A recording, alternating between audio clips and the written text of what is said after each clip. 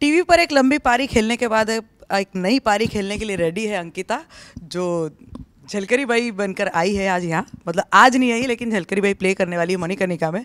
तो कैसा होने वाला है ये रोल और कितना अलग होगा पहले के रोल से? सबसे पहले तो मैं आपको कहना चाहूँगी वेलकम बैक मुझे झलकरी के बारे में मैं क्या कहूँ? झलकरी एक ऐसा कैरेक्टर है जो बहुत ही पावरफुल कैरेक्टर है, जो जैसी आज की लड़कियाँ होती हैं, जैसी होनी चाहिए कायदे से, वो उस ज़माने की लड़की थी और वो वैसी थी। वेरी पावरफुल वेरी ब्रेव किसी से ना डरने वाली और सब, अब सही और गलत जो उसको फील होता था, उसके लिए वो स्टैंड लेने वाली, सबको बताने वाली कि मुझे ये लगता है तो मैं ये करूँगी और वो किसी से भी झगड़ सकती थी। So I guess she is a very interesting character और ये रानी लक्ष्मी बाई जो फ़िल्म आ रही है हमारी, उसमें मणिकर्णिका में वो बहुत एक अहम कैरेक्टर है। शी वो जो होती हैं, वो डिस्गाइज करती हैं रानी लक्ष्मी बाई को। बेसिकली वो रानी लक्ष्मी बाई और मणिकर्णिका नहीं, एक सेकंड कंफ्यूज हो गई मैं हाँ रानी लक्ष्मी बाई एंड झलकरी बाई, ये एक जैसे दिखते थे। तो वो कभी भी ब्रिटिश के सामने जाती थी तो झलकरी बाई जाती थी, वो डिस्गाइज करती थी बेसिकली तो कितना मेहनत लगी इस रोल को निभाने में? कितनी शॉर्ट फाइटिंग हॉर्स राइडिंग क्या क्या सीखा? बहुत मेहनत लगी है, बहुत सबकी मेहनत हो, बहुत ज़्यादा सबने मेहनत की है। स्वॉट फाइटिंग थी हॉर्स राइडिंग थी और हम लोगों ने गन शूट किए हैं एक्चुअली ओरिजिनल गन्स जो होते हैं। तो वो किया है। और हॉर्स राइडिंग सबसे डिफ़िकल्ट था मेरे लिए, बहुत डिफ़िकल्ट था क्योंकि हॉर्स पे दिन भर बैठ कर आपके थाइज पूरे सोर हो जाते थे तो बहुत डिफ़िकल्ट लगता था। लेकिन हाँ मुझे स्पोर्ट फाइटिंग बहुत इंटरेस्टिंग लगता था क्योंकि तलवार से से मारना वारना लोगों को मुझे थोड़ा अच्छा लगता है टाइप सो मैंने वो बहुत इंटरेस्ट के साथ सीखा।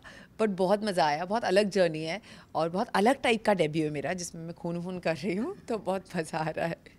पवित्र रिश्ता की बात करें तो वहाँ तो कुछ खून करावा नहीं था कि सिर्फ़ पवित्रता ही थी पूरी। बहुत दिल टूटे हैं यहाँ बहुत खून निकला है लोगों का बस उतना फ़र्क है। अच्छा कितना मिस कर रही थी टीवी को? टीवी तो हमेशा मेरे साथ रहा है, ऐसा मिस तो मैं किसी चीज़ को नहीं कर रही हूँ। लेकिन हाँ आप लोगों से मिलकर बहुत अच्छा लगता है। एक पुरानी यादें ताज़ा हो जाती हैं वापस से, ऐसा लगता है कि I am back you know तो वो चीज़ ज़रूर है। बट आप तो हमेशा, मैं जहाँ रही हूँ, आप हमेशा रही हैं तो मुझे नहीं लगता कि मैंने, आप लोगों ने तो मुझे मिस नहीं किया होगा। बट हाँ मैं आप लोगों साथ बहुत टाइम बाद मिल रही हूँ तो बहुत अच्छा लग रहा है वापस आगे। और बहुत अच्छा लग रहा है कि I am here to promote my film and I am really glad that आप लोग यहाँ पर आए और मुझे इंटरव्यू कर रहे हैं। अच्छा डेब्यू है और वो भी खून खराबी वाली फ़िल्म हाँ तो आगे क्या लग रहा है? आगे आगे क्या होगा? आगे कत्लेआम होगा। आगे पता नहीं क्या होगा। आगे का अभी तक कुछ इतना प्लान किया नहीं है। डेब्यू के बाद सो आपको कुछ होगा तो पता चल जाएगा जल्दी। वैसे कि अभी वेब सीरीज़ खूब चल रही है। सारे लोग उसमें अपीयरेंस दे ही रहे तो अंकिता भी कुछ ऐसा कुछ सोचा है? अभी तक मैंने वेब सीरीज़ है मैंने अभी एक्चुअली मैं सिर्फ़ focus twenty fifth of January जब तक मेरी मनी खाने का रिलीज़ नहीं होती तब तक मैं कहीं फोकस नहीं हूँ। सिर्फ़ यहीं फोकस्ड हूँ। सो so, अभी पूरा कॉन्सेंट्रेशन मनी करने का पे। एक बार ये हो जाएगी फिर नेक्स्ट चीज़ें फिर एक नया स्टेप वापस लेंगे और पता चलेगा अब मैं क्या कर रही हूँ। कंगना के साथ का एक्सपीरियंस बताइए कैसा कंगना के साथ बहुत अच्छा एक्सपीरियंस रहा है। आ, बहुत मज़ा आया काम करके। बहुत चीज़ें सीखी है। बहुत अच्छी दोस्ती हुई है, बहुत अच्छे लोग मिले हैं सेट पर। इनफैक्ट सिर्फ़ कंगनाई नहीं, और भी बहुत लोग हैं जिनसे अच्छी दोस्ती हुई है। मिष्टी चक्रवर्ती जो है, वो भी है काशी बाई तो उससे मेरी बहुत अच्छी दोस्ती है सो आई गेस बहुत अच्छी टीम थी। सब लड़कियाँ थी पूरे सेट पर, सिर्फ़ लड़कियाँ होती थी। वो एक एक्चुअली औरतों की आर्मी थी हमारे वुमेंस पावर जो होती है, वो पूरी खड़ी थी वहाँ पर। तो सबके साथ मिलकर बहुत अच्छा लगा है। और कंगना के साथ स्पेशली मैंने बहुत कुछ सीखा है यू नो डिसिप्लिन सीखा है काम के लिए और अच्छी अच्छी चीज़ें सीखी हैं। Very nice human being I would say and very nice soul so I am glad that I am part of this film birthday में भी आके कंगना थी और काफ़ी मतलब माहौल कहेंगे। जी हाँ जी बिल्कुल कि वो बर्थडे पर आई थी। कमल सर आए थे वैभव तत्ववादी। मेरे टीम के बहुत सारे लोग आए थे और उसी दिन हमारा ट्रेलर लॉन्च हुआ था तो और एक्साइटमेंट था उस चीज़ के लिए। तो बहुत मज़ा आया। आई होप आप लोगों को मज़ा आया होगा मेरे बर्थडे पे आके। तो टीवी की पारी तो काफ़ी धुआंधार रही थी। ये भी स्टार्ट एकदम धुआंधार है।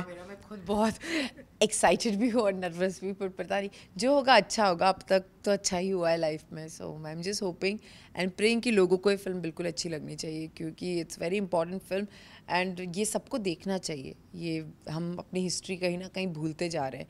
मुझे जेन्यूनली लगता है कि हर छोटे से छोटे बच्चे को ये फ़िल्म देखकर उसे एहसास होना चाहिए और ये होना चाहिए कि I am proud to be an Indian you know ये बोलना चाहिए वो।